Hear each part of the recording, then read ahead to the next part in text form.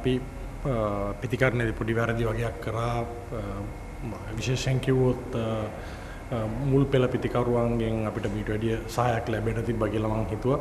නමුත් පසු පෙළ පිතිකරුවන්ගෙන් හොඳ කම්බැක් එකක් දීලා මං හිතනවා හොඳ තරඟයකට ගෙනාවා කියලා. නමුත් අවාසනාවන්තයට අපිට ඒක ඉවර කරගන්න බැරි වුණා. ඊළඟ තරඟේ අපි මේ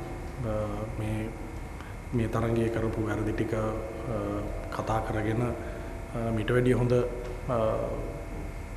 ක්‍රීඩාවක් මිට වැඩිය හොඳ ගේම එකක් ඉස්සරහට ගේන්න වෙනවා මොකද ඉන්දියා වගේ කණ්ඩායමක් එක සෙල්ලම් කරනකොට අපි දන්නවා ඒගොල්ලෝ කොහෙද ඉන්නේ කියලා. ඉතින් අපි අපේ උපරිම අපේ හොඳම ක්‍රිකට් එක ඉස්සරහට ගෙනලා ක්‍රීඩා කරොත් පමණයි අපිට තරගයක් ජයග්‍රහණය කරන්න වෙන්නේ.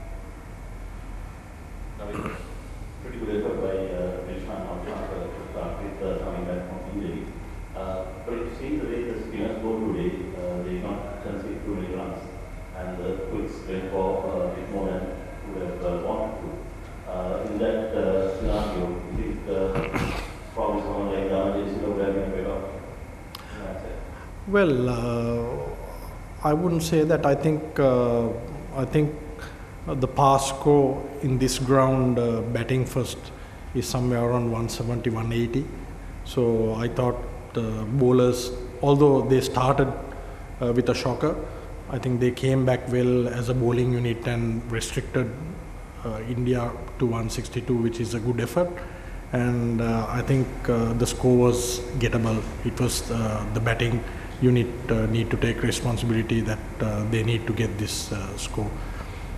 Despite the defeat, there are lots of positives for you guys. Exactly, yeah. Every time uh, there are so many positives to take back. I think uh, even with the bowling, I think uh, the youngsters who are playing in the formative years of their careers, this experience will go a long way for them, and I, I believe that uh, they will learn every game and move forward, and they'll only get better. And uh, batting wise, also, I think uh, we've got a lot of learnings there to take with us uh, for the next game. Yes. Harman on the wicket coach. I just wanted to ask you about Avishka and Sadira were also part of the squad. They had a very good LPL, both of them played for the same team. So, how would you assess where they are? Because Avishka is obviously coming back from an injury, and where they are at right now, and if they have any chance of featuring in the next two games. Uh, obviously, uh, I think the selectors must be thinking about it now because uh, these two boys have done really well in the LPL, and uh, Avishka, of course, uh, uh, has been doing well before he got injured, and Sadira has been doing well in the Sri Lanka A team for a while now. So obviously, those two are in line. That's the reason why they are with the squad. Um, I'm sure they'll get an opportunity to play somewhere down the line, and I'm sure uh, the selectors will think about it to to make way. Yeah, so based on the batting, there were quite a lot of areas where you felt you could have improved. So, what do you feel was the turning point in the run? Was it Dasun's wicket or was it a little earlier where you lost a couple of wickets in quick succession? Yeah, I think it was Wanindu, uh, Wanindu and Dasun when they batted. Uh, it looked like you know we needed a bit of a partnership from them to take it a little bit longer. But uh, when Wanindu got out and then eventually Dasun got out, it left Chamika on his own to do the job. But uh, from where we were, I think hats off to those three to taking a close game uh, and bringing the game that far. Yes.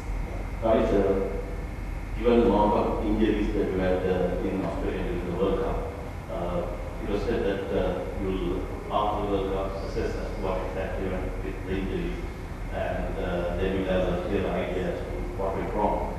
Will you sort of uh, assessed as to what happened with the injuries?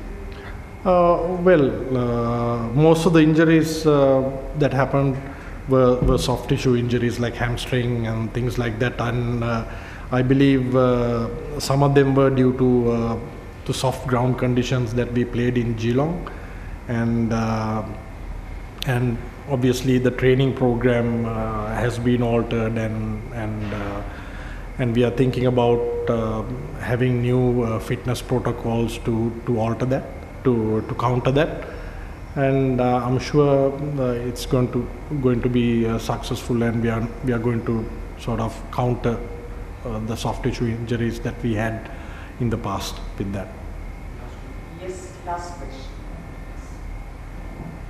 Coach, uh, in India, when slam band cricket is the norm, especially in T20 cricket, Sorry, when, when slam band cricket is the norm, when it comes to T20 cricket especially, how challenging is it for you to actually make batters realize that for a relatively uh, smaller target, you don't really have to go so hard right from the word go, especially to top four or five. Like, there is a phase in T20 cricket where you can actually take your time and then reassess the situation. How challenging is it from a coaching perspective?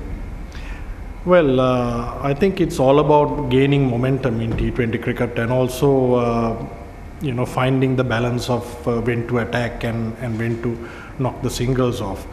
Uh, it's a it's a bit challenging because uh, sometimes uh, players tend to to waste a lot of balls, too many dot balls, and find themselves in a situation where you're far behind the asking rate. So, uh, so, so the easiest way uh, to play T20 cricket is to be positive and to look at to play aggressive cricket, and whenever the opportunities arise, to go for it.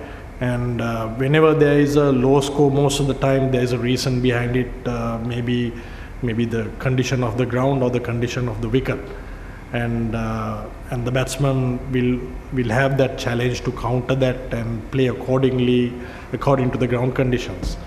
So uh, it's a pretty challenging task to uh, to find that the right balance between attack and uh, being defensive. But uh, I guess T20 cricket is about uh, being aggressive, being positive. I, we always encourage our boys to to do the same and uh, if you be positive and if you be aggressive i'm sure the results are going to be on our side uh, more often than not Thank you, sir. thank you Thanks.